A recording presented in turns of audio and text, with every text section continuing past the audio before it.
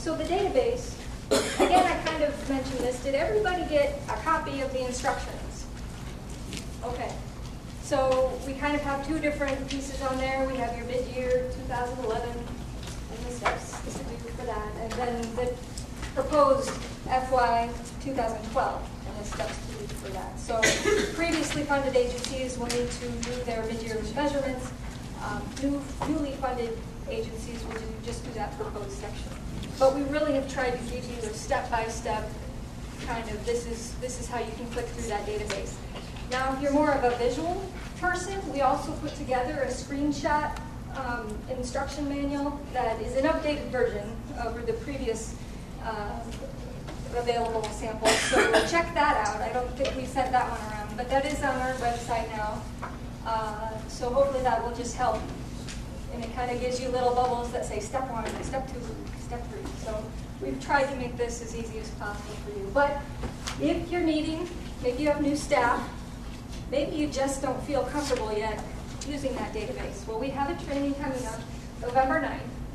Um, it's scheduled at 10 a.m. at the United Way office. Now, this is getting pretty full, so uh, I guess at this point, if you haven't signed up yet, try and limit that just to one person per agency because we're really, we're going to be a little tight in there. But we'll try and move the tables out so we can have just seating, that kind of thing. But for those who might not attend the database training, I did want to just touch on a few key updates. Uh, and some of it is we know more. We know more because we've been able to now tell you the outcomes that we would like to achieve. What that means in the database is that in terms of your outcome description, you'll choose from a drop-down box which outcome that your uh, strategy aligns with. And once you click on that, you'll see the description box that you know about. But what we want you to do is put the outcome that you've selected in the drop-down box within that description box. Now, if it was a perfect world, we would get rid of the description box because you already told us in the drop-down box. But we can't do that.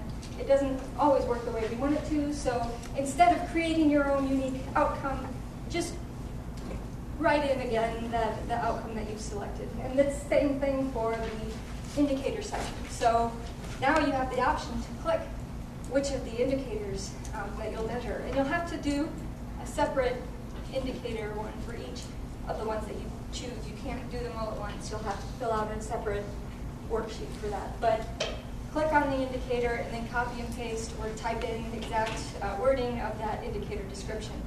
Because what this does is it all ties together so that when you print out your logic model, all that verbiage will be there. So, and one exciting change that we're able to offer this year is a submission report. And I know I see some smiles because in the past, there's so many different little things that you click on and you submit here and submit there, and, and not everybody can remember, I do it all? Um, so basically, when you click on that tab, that's all you have to do. You click on the tab, it pops up everything that hasn't been submitted. Now, when I say this, don't get alarmed because there are pieces of information that may not have been submitted in the past, and you're going to see that there too. But you can't do anything about it. When you click on it, you're not going to be able to, it'll you know time period ended. So don't worry about previously non-submitted items.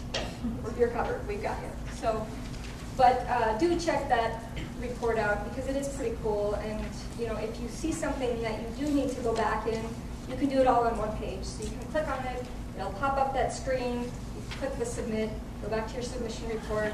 So hopefully, just maybe you just don't submit anything until the very end, and you can review that report and go through it one by one. So that's a nice change we're able to offer this. So any questions about the database?